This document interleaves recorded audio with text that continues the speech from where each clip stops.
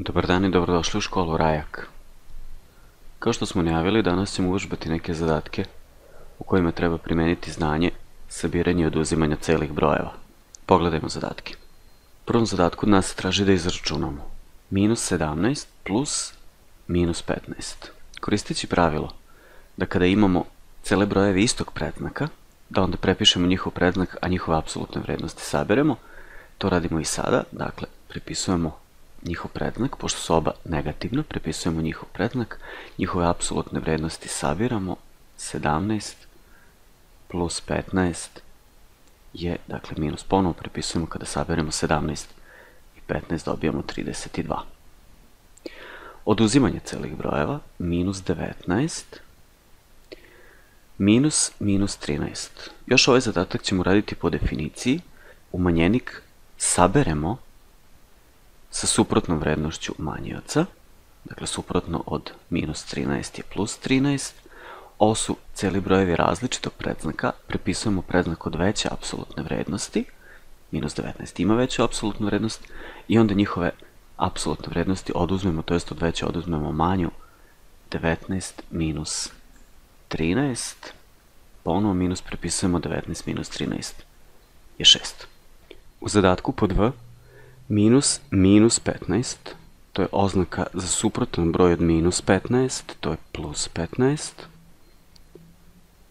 plus minus 19, ovaj plus označava da nam je potreban baš broj minus 19, a ne suprotan, dakle minus 19 i minus 11. Sada imamo tri sabirka. Možemo ići redom, a možemo da grupišemo i brojeve po njihovim predznacima.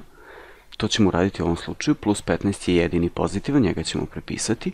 Minus 19, minus 11, dakle, negativan predznak prepisujemo, a njihove apsolutne vrednosti sabiramo.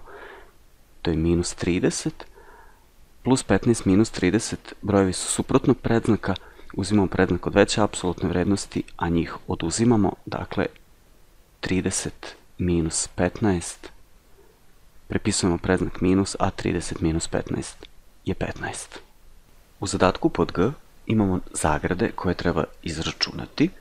Dakle, u ovom slučaju 6 minus 12 je minus 6 plus 14 minus 21, dakle uzimamo predznak od veće apsolutne vrednosti, a njih oduzimamo, to je minus 7. I sada imamo minus 6 plus minus 7, ovo su celi brojevi istog predznaka, prepišemo njihov predznak, njihove apsolutne vrednosti, saberemo 7 i 6. Kad se saberu daju 13. U drugom zadatku imamo nešto duži brojevni izraz, pa ćemo grupisati brojeve po njihovim predznacima. Minus 24 plus 23 minus 39 minus 11 i plus 45. Grupisat ćemo prvo negativne brojeve, minus 24, minus 39 i minus 11, a nakon toga ćemo grupisati pozitivne brojeve, plus 23 i plus 45. Hajde da ih grupišemo pa da izračunamo vrednost našeg brojevnog izraza. Minus 24, minus 39 i minus 11, to su negativni, plus 23, plus 45 su pozitivni. Prvo ćemo ove negativne brojeve sabrati, pošto su svi istog predznaka, minus ćemo prepisati 24 i 39 su 63 i ovih 11 su 74, plus 23 i 45 su 68. Sada imamo brojeve različitog predznaka, prepisujemo predznak od veće apsolutne vrednosti, a njih ćemo oduzeti, dakle, minus 6. U zadatku pod B imamo još jedan brojevni izraz kome ova zagrada ima prednost. Dakle, 33 je izvan zagrade, pa ćemo prepisati 33 minus, otvorit ćemo zagradu da bismo izračunali brojevnu vrednost u zagradi, minus 28 plus 14 minus 14 minus 16. Još uvek nismo izračunali vrednost unutar zagrade, pa ćemo i dalje to da radimo. Minus 14 minus 16 minus prepisujemo, pošto su brojevi istog predznaka i saberemo ih minus 30. 33 ponovo prepisujemo, suprotan broj od minus 30 i plus 30 i sada smo dobili dva prirodna broja koje treba sabrati, 33 i 30 je 63. Treći zadatak je tekstualan. Od zbira brojeva minus 91 i 65 oduzeti njihovu razliku. Ovde moramo biti jako precizni i jako pažljivi što se tiče i predznaka i znakova računskih operacija. Od zbira brojeva minus 91 i 65, dakle minus 91, zbir sa 65, oduzeti njihovu razliku. Zbog ovog oduzimanja, a razlika je složen izraz, moramo staviti zagradu, dakle minus 91 minus 65. Ovu brojevnu vrednost možemo izračunati, zato što je izvan zagrade i ovo sabiranje se može izvršiti u ovom zapisu kako je već zapisano, dakle minus 91 plus 65 prepišemo predznak od veće apsolutne vrednosti, 91 minus 65 je 26, minus, pa ponovo otvaramo zagradu da bismo izračunali ovo unutarnje, brojevi su istog predznaka, prepišemo njihov predznak, a njih saberemo, dakle 156. Jednako minus 26, minus minus 156 je plus 156, ovo su brojevi različitog predznaka, prepišemo predznak od veće apsolutne vrednosti, dakle ponovit ćemo ovaj plus ne moramo pisati, sad ćemo ga pisati da bismo naglasili da je uzet predznak od veće apsolutne vrednosti i oduzmemo 156 minus 26 je 130. Dakle, vrednost našeg izraza je plus 130. Slično, zadatak pod B, zbir brojeva 46 i minus 38 oduzeti od njihove razlike. Obratimo pažnju oduzeti od njihove razlike. Dakle, njihova razlika ide na prvo mesto, to će biti zapravo naš umanjenik, dakle razlika ova dva broja, 46, e sad obratimo pažnju, razlika, a umanjilac je negativan, dakle tu moramo biti pažljivi, minus zbir ova dva broja, ponovo će nam trebati još jedna zagrada, zbir ova dva broja. Moramo se osloboditi ove male unutrašnje zagrade, Dakle, 46, već smo uvežbali, minus minus 38 je plus 38. Minus, ponovo se ovde oslobađamo, 46 plus minus 38, dakle, zapravo kazuje da nam treba broj baš minus 38, minus 38. I ovo se zapravo sad već svodi na računske operacije sa prirodnim brojevima 46 plus 38, 84 minus 46 minus 38 je 8, a 84 minus 8 76. Četvrti zadatak nam je zadatak sa promenljivama. Dato nam je da je a minus 9, b je 8, c minus 12. Treba da izračunamo vrednosti ovih izraza sa promenljivim. Hajdemo na prvi. A minus pa zagradi b plus c. Uvrstit ćemo vrednosti naših promenljivih, dakle umesto a pišemo minus 9, minus, u zagradi nam je b plus c, zamenjujemo umesto b 8, plus umesto c minus 12, prepisujemo minus 9, minus 8 plus minus 12 zapravo označava nam broj minus 12. Izračunat ćemo vrednost izraza u zagradi, sve ostalo prepisujemo, 8 minus 12 je minus 4. I dalje prepisujemo minus 9, minus minus 4 je oznaka za suprotan broj od minus 4, to nam je plus 4, i minus 9 plus 4 brojevi su različitog predznaka, prepisujemo predznak od većeg, a njihove apsolutne vrednosti oduzimamo 9 minus 4 je 5. Zadatak pod B a minus b plus c. Pogledajmo da nam ovaj izraz lična izraz pod a, s tim što nema zagrade. Hajde da izračunamo, pa da vidimo da li su te zagrade toliko važne da li one menjaju vrednost našeg izraza. Opet uvrštavamo vrednosti. Minus 9, minus b nam je 8, plus c nam je minus 12. Minus 9, minus 8 brojevi su istog predznaka, prepisujemo predznak, a njihove apsolutne vrednosti sabiramo, to je minus 17, plus minus 12, dakle minus 12, i sad imamo minus 17, minus 12, brojevi su istog predznaka, prepisujemo njihov predznak, a njih sabiramo, to je 29. Primetimo da nismo dobili istu vrednost kao u brojevnom izrazu pod a, što znači da ove zagrade koje su u prvom izrazu dosta utiču na samu vrednost. I ostane nam je zadatak pod v, minus, pa u zagradi nam je a minus b, minus c. Prepisujemo ovaj minus i prepisivat ćemo ga dokle god ne izračunamo vrednost izraza u zagradi. Zamenjujemo vrednosti promenljivih. a je minus 9, minus b je 8 i minus c, dakle minus minus 12. Izračunat ćemo vrednost u zagradi, ovaj minus prepisujemo. Minus 9, minus 8, već smo imali to u prethodnom primeru, minus 17. Minus minus 12, dakle pišemo plus 12.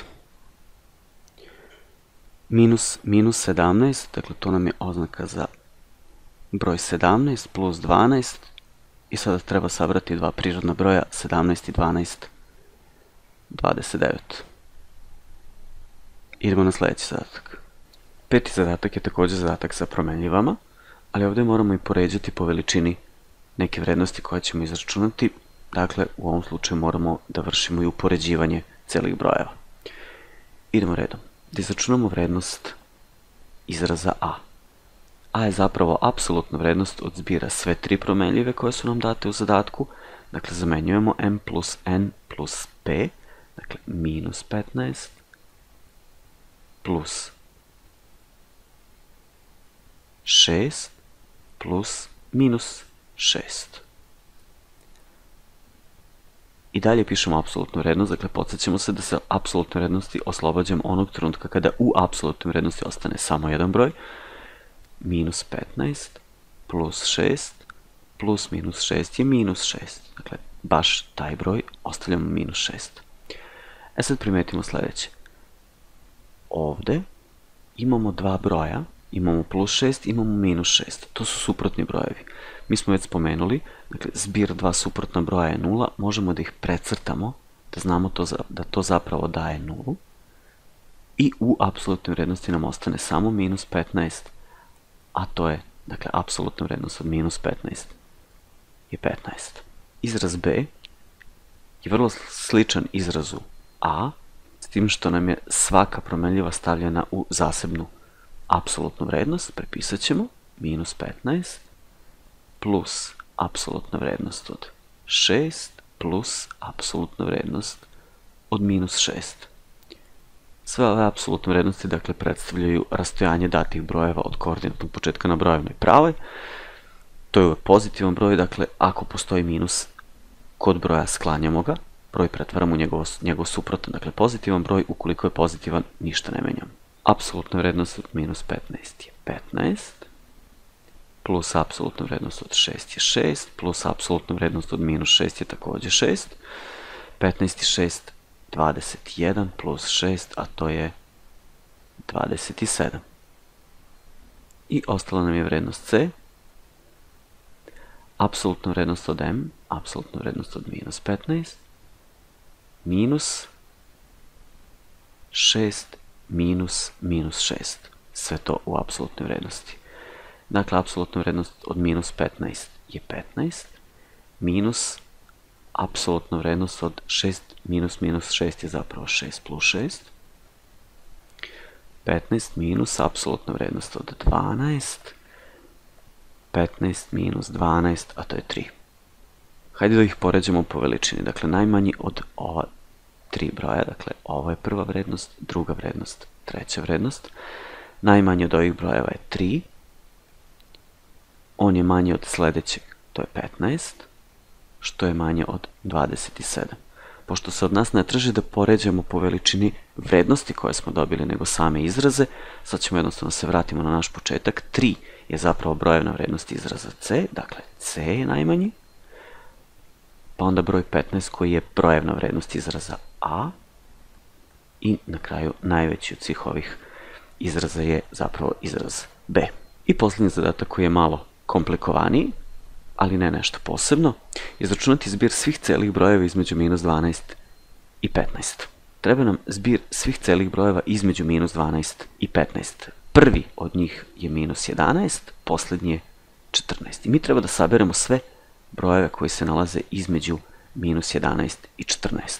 Ako bismo se odlučili da ispišemo sve ove brojeve i njihov zbir, verovatno bismo potrošili previše vremena, a usput postoji mogućnost da i nešto pogrešimo pri izračunavanju. Jednostavno ćemo napisati skraćeno sa tri tačke, pa ćemo posle shvatiti šta tu zapravo možemo uraditi. Dakle, prvi broj je minus 11, plus minus 10, plus, dakle, sledeći je minus 9, minus 8, minus 7, minus 6, stavit ćemo tri tačke da, da ne bismo morali sve da ispisujemo, plus minus 2, plus minus 1, plus. Pisali smo sve negativne brojeve, sledeći je 0 koji nije ni pozitivan ni negativan, plus 1, plus 2, plus i tako dalje, dokle plus 10, plus 11, plus 12, plus 13 i plus 14. Ovo zapravo računam. Dakle, ove tri tačke označavaju nam da su svi uzastopni brojevi tu, dakle između 2 i 10, svi uzastopni se tu nalaze, jednostavno samo smo skratili zapis. E sad, ako krenemo redom da računamo, to će potrajati. Međutim, primetimo sledeće. Mi u zadatku imamo minus 1 i 1. Pošto je u pitanju sabiranje, možemo da primjenimo komutativnost pa da menjamo mesta, što znači da nije problem zašto minus 1 i 1 nisu jedno pored drugoga. Minus 1 plus 1, dva suprotna broja, njihov zbir je 0, dakle ovoga više nema. Na sličan način, minus 2 i plus 2. Slično bi se desilo i sa minus 3 i plus 3, svi redom brojevi bi se potirali pošto su suprotni, dakle na isti način minus 10 i plus 10,